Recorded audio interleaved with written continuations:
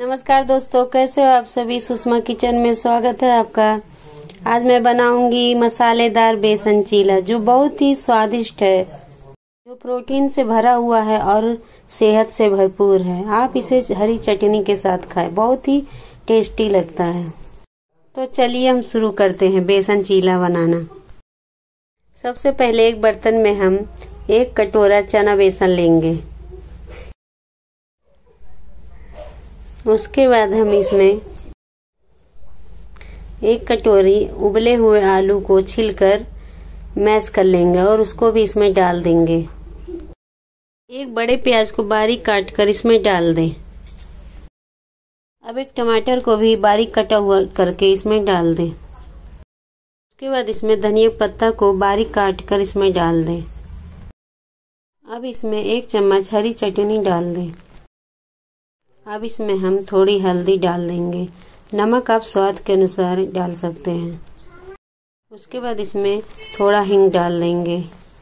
उसके बाद इसमें थोड़ा जीरा डाल देंगे। अब हम इसको अच्छे से मैश करके, मिक्स करके इसमें हम थोड़ा थोड़ा पानी डाल के बैटर तैयार कर लेंगे।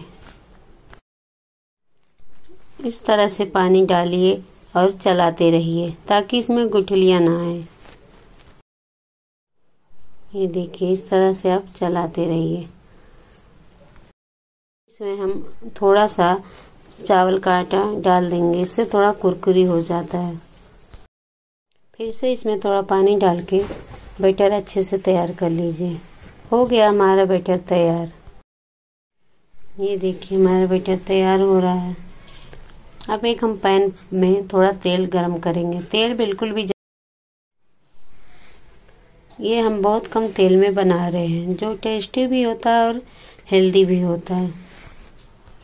चीला को बनाने के लिए राई का तेल का इस्तेमाल करें। राई का तेल बहुत ही अच्छा होता है बनाने, खाने में। अब हम चीले को तावे पर डालेंगे। एक एक करछुल डाल दीजिए। इस तरह से डालिए। थोड़ा थोड़ा फैला भी दीजिए। इसको आप धीमी आँच पे पक कर लाल करें। फिर दोनों तरफ़ से पलट कर अच्छे से लाल कर लें। ये देखिए, एक तरफ़ से हमारा चीला लाल हो गया। अब हम इसको पलट देंगे ताकि इसके ऊपर वाला हिस्सा भी अच्छे से लाल हो जाए।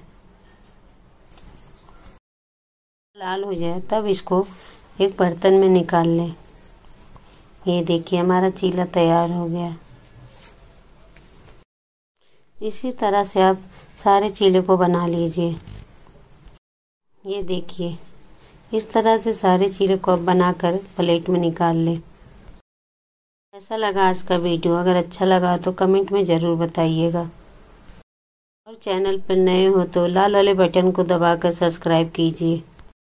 ये देखिए, मसालेदार चीला तैयार हो गया। अब आप इसे हरी चटनी या चाय के साथ खाएँ। बहुत ही स्वादिष्ट लगता है। चलिए अब हम मिलते हैं फिर अगले वीडियो में।